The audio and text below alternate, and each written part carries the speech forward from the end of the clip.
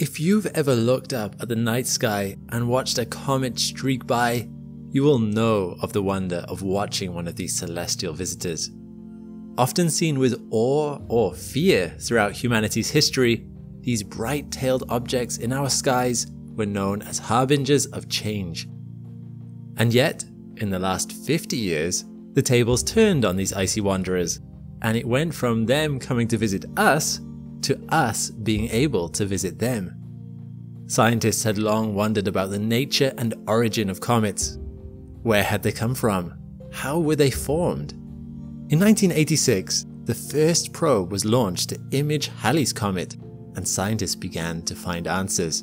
But to truly understand comets, it would take more than photographs. A more physical approach would be needed.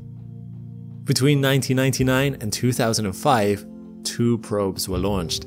Their mission was to interact with comets in ways that had never been attempted before.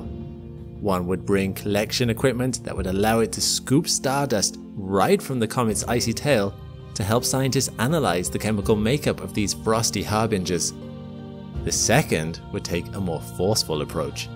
Rather than quietly collecting a smattering of space dust, the second probe would crash headfirst into the surface of the comet itself, exploding with a force of 5 tons of TNT, to see what could be learned from the resulting crater and debris. And yet, although these two missions were two different comets, through chance there was one comet that unexpectedly brought them both together Tempel 1. I'm Alex McColgan and you're watching Astrum. Join with me today in today's Supercut as we explore the explosive story of Tempel 1 and how the Stardust and Deep Impact probes both were needed to help discover what lay at the heart of this space-borne nomad. In the early 90s, comets were still a bit of an enigma. By 1999, eight different spacecraft had been launched to investigate comets in our solar system, with five of them having flown by Halley's Comet in 1986. But beyond that, only two other comets had been visited, Comet Giacobini-Zinner in 1985 and Comet Grigg-Skellerup in 1992. And while some fascinating photos and dust samples had been taken as close as 200 kilometers from some of these incredible celestial bodies' comas and tails, comets still had many mysteries.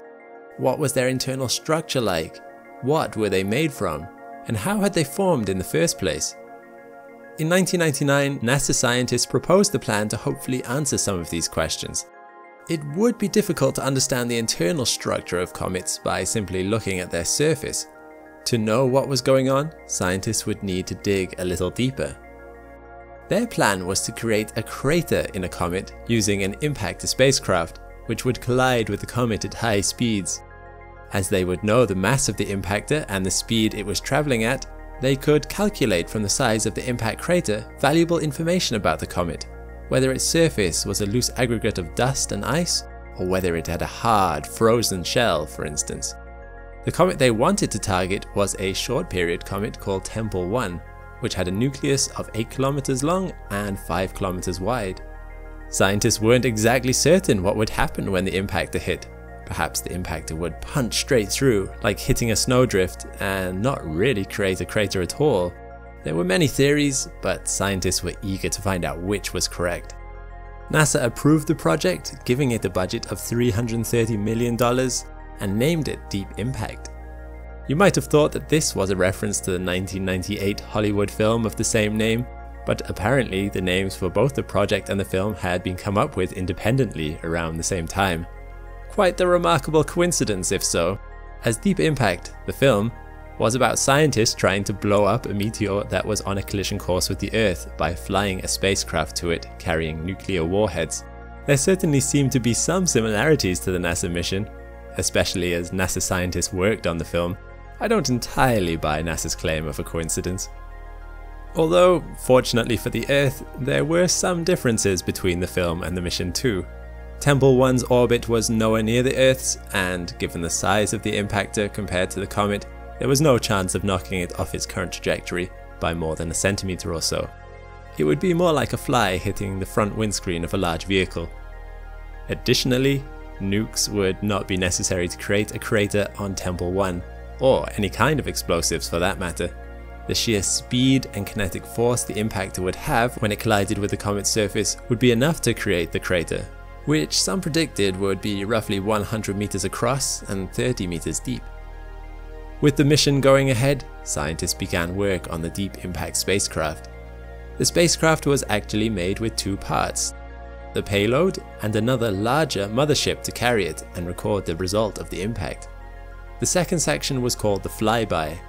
It weighed 601 kilograms, was 3 meters long, and housed scientific devices, solar panels, a debris shield, and two powerful cameras, the high resolution imager and the medium resolution imager. These would take photos of the comet after the impact, as well as help with navigation. The impactor itself was smaller, only 372 kilograms, but it was still smart and housed a camera of its own. This camera, the impactor targeting sensor, would take photos of Tempel 1 right up until the moment of impact, streaming back the images it collected to its parent, Flyby, which would then relay the images to Earth. There was considerable public interest in the mission, which NASA encouraged in 2003 by getting members of the public to submit their names to be recorded on a CD, which was placed on the impactor. Roughly 625,000 names were collected in this way to be carried directly to Tempel 1's surface. On top of that, NASA timed the impact to take place on the 4th of July, American Independence Day. While this may have been because it was one day before Tempel 1's perihelion, and its proximity to the Sun may have produced clearer images, I suspect that the more likely reason for this date was that American scientists liked the idea of a large cosmic firework. Deep Impact launched on the 12th of January 2005 on a Delta II rocket. But then a problem hit. Within a day of leaving the Earth's orbit, Deep Impact's onboard computer switched itself to safe mode, which it would only do if there was a fault. Something on board was apparently overheating. This gave scientists a bit of a scare, but fortunately the cause of the problem was quickly found to be a minor programming issue. Acceptable heat tolerances had been set too low, so Deep Impact thought its thrusters were overheating, when in reality they were just fine. Engineers corrected the issue and Deep Impact was able to properly begin its mission. The spacecraft spent the next six months traveling to its rendezvous point with Tempel 1. In that time, it traveled 429 million kilometers. It had to course correct twice on the journey, but this was actually impressive as it had originally been planned for there to be three course corrections. One was just so precise that the other was deemed unnecessary. On the 25th of April 2005, Deep Impact caught its first glimpse of Comet Tempel 1. Of course, NASA scientists couldn't manually guide Deep Impact as there was a several minute signal lag. Deep Impact and Tempel 1 were now roughly 130 million kilometers away from Earth, more than twice the closest distance between Earth and Mars. Deep Impact's smart onboard programming would have to guide it in for the final leg of the journey. On the 29th of June, the impactor successfully released from the flyby and positioned itself into the comet's flight path to crash into it head on. This was done for a few reasons. First, the front of the comet was in sunlight, which would allow for better pictures to be taken. Second, it would allow a greater accumulated speed to be reached, resulting in greater kinetic force. And on the 4th of July 2005, just one second out from the anticipated arrival time, the impactor hit. And what a magnificent spectacle it produced. Scientists were thrilled that they had struck so accurately, Deep Impact's payload had been travelling at 37,000 km per hour and had struck with a force of 19 billion joules of kinetic energy. This produced the bright flash you see here, the energy of which is roughly equivalent to 5 tons of TNT. This flash was much brighter than scientists expected. It lit up the surface of Tempel 1. However, ironically, the success of the first part of the mission caused an unexpected negative side effect. A large dust cloud was kicked up by the impact, which obscured the flyby's view of the impact crater. Dust outgassed from the comet for the next 13 days, peaking 5 days in, which made it hard to see the results of this interstellar bullseye. Although it did offer some interesting insights into the internal pressures going on inside the comet. around 5 million kilograms of water and between 10 and 25 million kilograms of dust were ejected from Tempel 1 in that time. Fortunately, scientists were able to rely on other eyes, at least to capture images of the explosion. The collision had been observed through numerous other telescopes on or around Earth, including Hubble, Swift, and even many amateur astronomer telescopes. Still, this was a serious problem. Although this outgassing was fascinating to record, the primary purpose of the Deep Impact mission was to take photographs of the crater caused by Deep Impact. Without images of the result, many of the questions about Tempel 1 would remain unanswered, like about its structure and composition. Like a partially unwrapped gift, Tempel 1 had been opened, but it had not yet been seen what lay inside.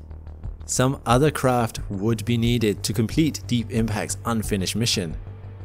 Fortunately, Another craft capable of doing so had already been launched, and, having completed its own previous mission, was now drifting serenely through space. It was about to receive another task. It's time to talk about Stardust. Let's go back to the late 1990s when cometary science was even more patchy.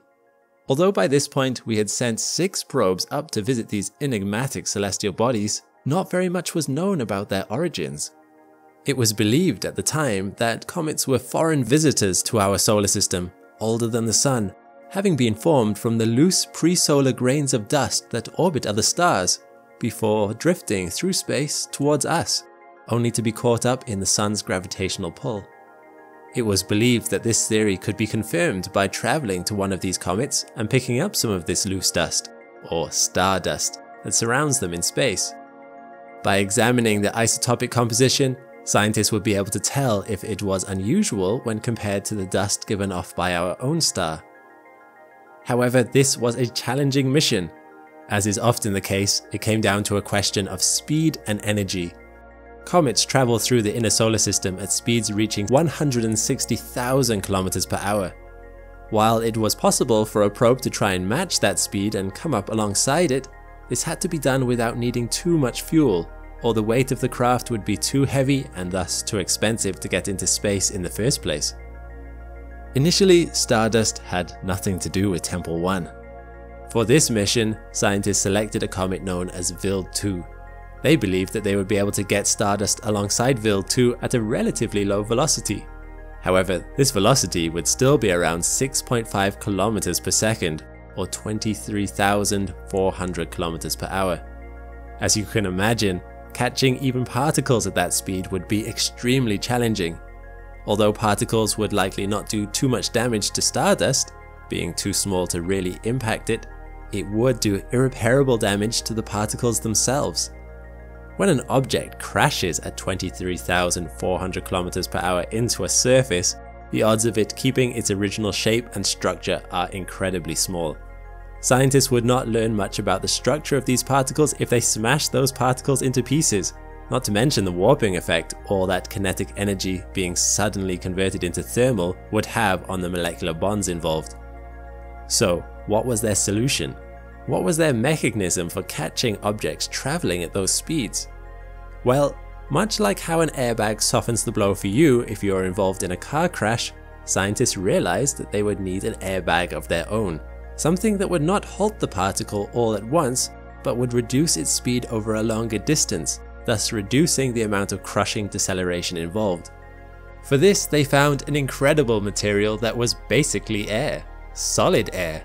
They decided to use aerogel, Aerogel is a fascinating substance that was discovered in 1931 by Samuel Kistler when he made a bet with fellow scientist Charles Leonard about jelly. As you've probably seen if you've ever made it yourself, jelly is formed of two parts.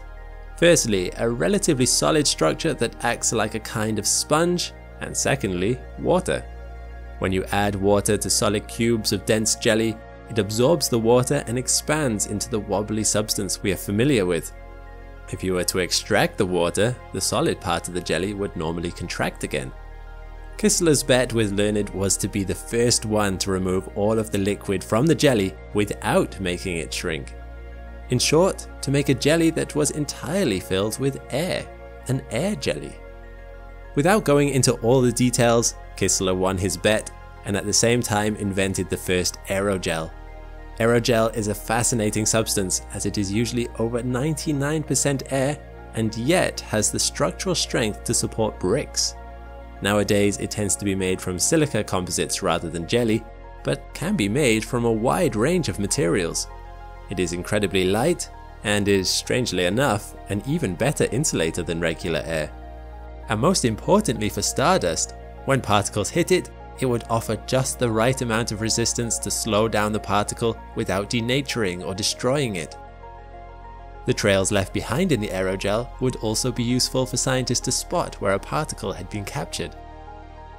Stardust was fitted with a tennis racket sized aerogel collector tray made up of 90 blocks of aerogel 3 cm thick with over 1000 square centimeters of surface area, which would be deployed from inside the main body whenever sampling was to take place.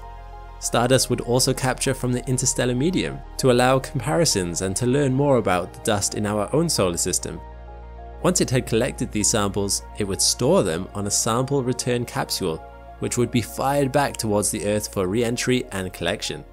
This SRC was 80 centimeters by 50 centimeters, weighed 45 kilograms, and came fitted with an aero shield, navigation recovery aids, and a parachute. Also on board Stardust was a navigation camera, a cometary and interstellar dust analyzer, and a dust flux monitoring system, among other scientific devices. The probe launched on the 7th of February 1999 and spent the next five years traveling through space, passing the asteroid 5535 Anne Frank along the way, which it took some photos of. But on the 2nd of January 2004, it finally arrived at its target, Comet Wild 2 and what it found was immediately extraordinary. Scientists had not expected much from Wild 2. Some NASA scientists described their expectation of it to be a rather bland object looking somewhat like a black potato. However, this is not what they found. Instead, the surface of Wild 2 was covered with spiky pinnacles hundreds of meters tall, cliffs, massive holes jetting dust and gas out into space, even on parts of the comet that were pointed away from the sun and thus were expected to be less reactive. In short, the surface of the comet was unexpectedly alive and self-renewing. Something else was just as notable for its absence craters. Unlike almost every other body in our solar system with surfaces exposed to space, there were no craters on the surface of Wild 2. This puts it in stark contrast to places like Mars or our own moon, Given the period of time Wild 2 is thought to have existed, it surely must have encountered other objects which impacted with it. So where had these craters gone? It shows that a comet's surface can either be self-renewing or active, reducing signs of visible craters over short time frames, astronomically speaking. And of course, during this flyby, Stardust had its aerogel collector exposed, and it was rapidly collecting dust samples. Just listen to the frequency in which dust struck the spacecraft.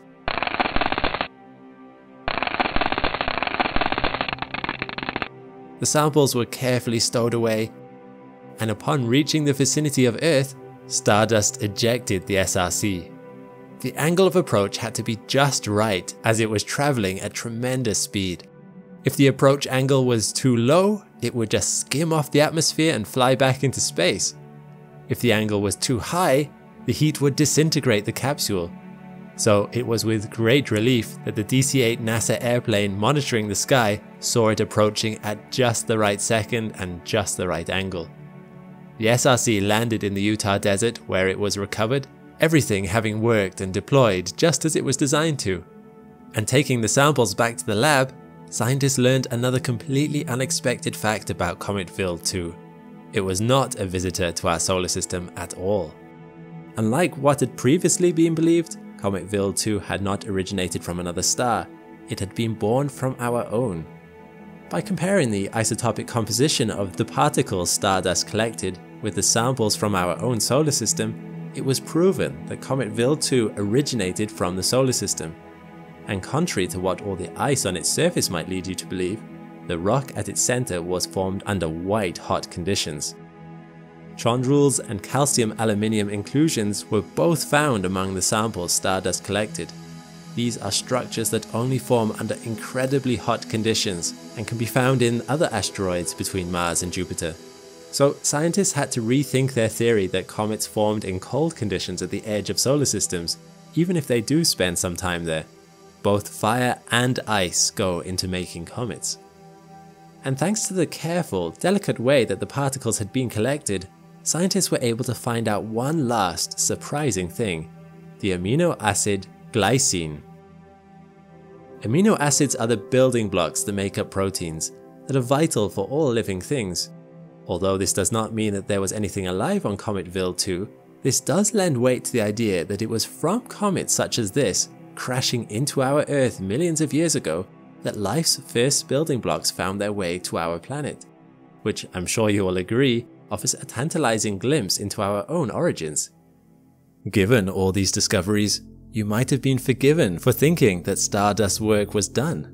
But NASA is always reluctant to waste perfectly good spacecraft if they have more to give, and Stardust still had fuel in the tank. And so, when the question arose in 2006 of how NASA could capture that close-up image of Tempel 1, Stardust's name was put forward. This would prove to be an interesting opportunity.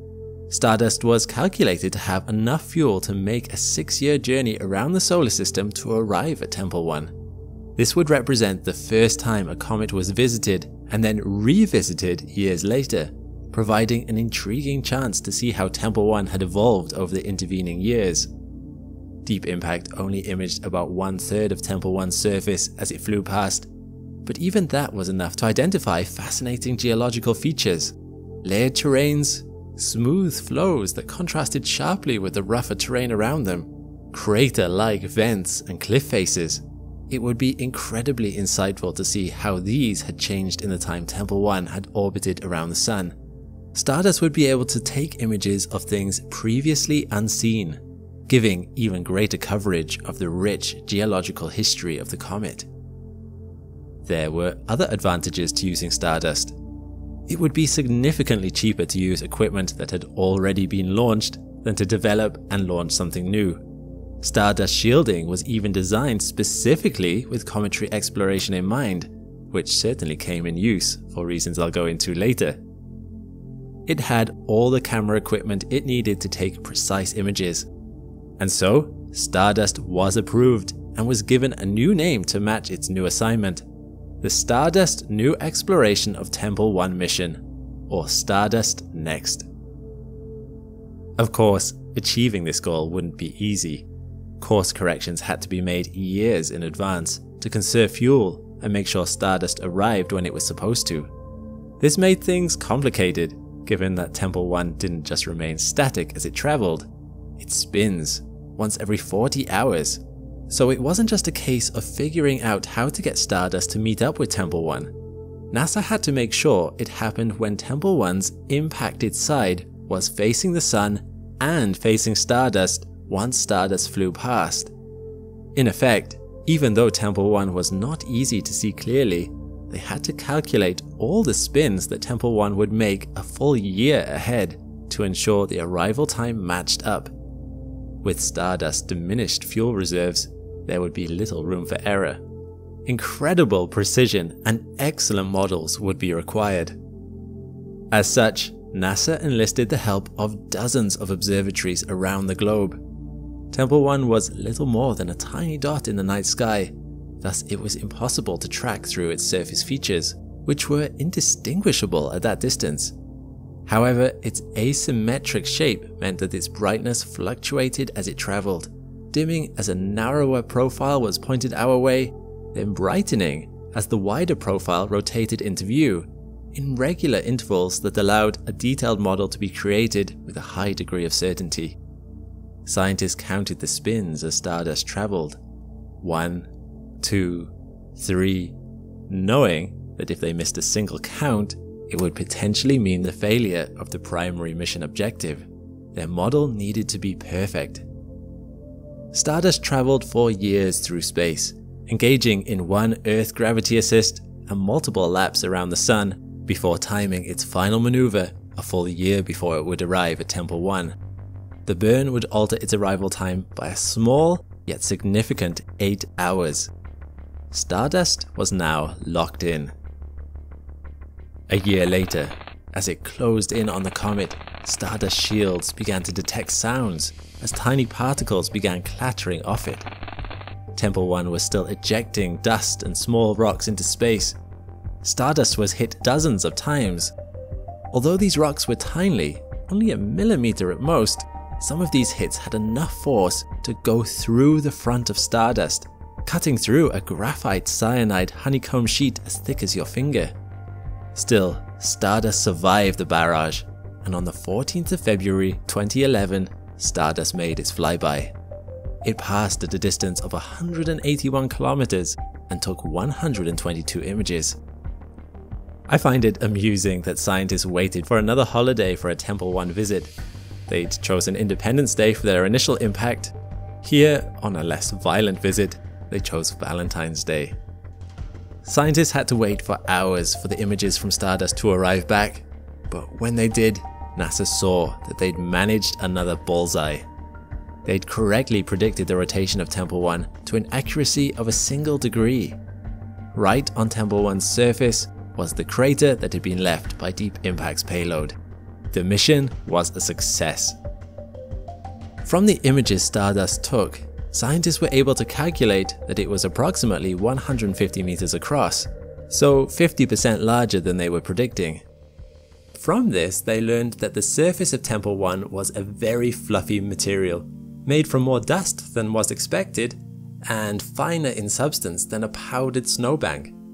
The surface was incredibly porous, in fact, they were able to estimate that 75% of the comet was actually empty space, the whole thing held loosely together by gravitational forces. From analysis of the plume that had been ejected from Tempel 1 after the impact, scientists were able to identify several interesting material components, including clays, silicates, sodium, and even organic material.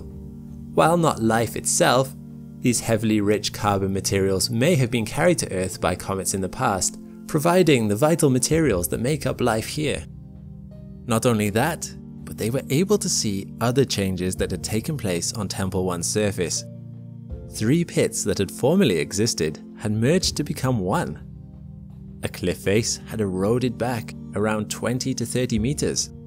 This indicated that Tempel 1's surface was a dynamically changing place leading to interesting questions about how these formations had formed in the first place that scientists could now puzzle over.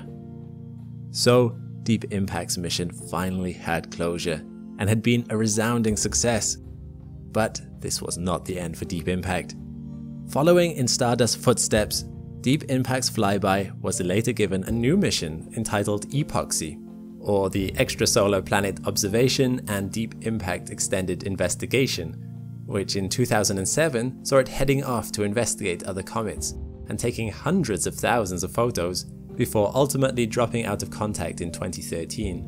But by then, Deep Impact had already done significant amounts to advance our understanding of comets and our solar system. What about Stardust? After its extended mission, scientists saw that there was still a little fuel left in its tank, so it ran with it Firing it for as long as it could, scientists checked to see if their models of how much fuel Stardust held matched up with the reality. To its last breath, Stardust kept doing science until the end. When at last all its fuel was used up, it sent one last transmission to Earth to acknowledge that it was being turned off for good. Now, it finally rests among the stars. Comets are truly fascinating things, and it was thanks to the incredible work of the Stardust probe and the Deep Impact mission that we were able to learn a great deal about their inner composition and workings. While still retaining their beauty, we have pierced through their layers of enigma. We understand that they are not some foreign visitors, but originate here, from our own solar system, and may have even led to the blossoming of life itself on this planet. And it was human ingenuity and precision that allowed these discoveries to be made. So, the next time you see a comet, with its beautiful tail flaring out across space away from it, it will no longer be quite so mysterious or foreboding. They may even be the reason you are here today. And all it took to learn this was to catch the dust from one and to punch another really, really hard. Thanks for watching. If you enjoyed this supercut, be sure to check out my others in this playlist here. And a big thanks to my patrons and members. If you want your name added to this list too, plus a bunch of other perks, you can support the channel using the links in the description. All the best and see you next time.